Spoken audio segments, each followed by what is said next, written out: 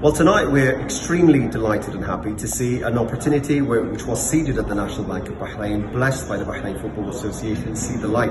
Uh, a, a, youth development investment and a sports investment all put together into the launch of an under 21 NBB Football League. This means that 21 teams are going to be participating in an amazing opportunity, an amazing league, um, split between two groups, uh, 11 and 10. Uh, the overall eight winners, uh, are, uh, top eight are going to be playing the Golden League, very similar to the Champions League in the European, uh, Europa League. And then the 13 will play the silver. The overall winner altogether of the championship is going to receive a grand prize of $15,000 and the runner-up is going to receive $10,000. And this also means that we've got the best overall player, the top scorer, and the football uh, and the best goalkeeper are going to be receiving $2,000 each as an overall prize. So tonight we are beyond happy, beyond delighted to see this youth investment reaping the fruits. And what we've seen tonight in terms of a launch um, just more gives you a glimpse of the quality that is being promised.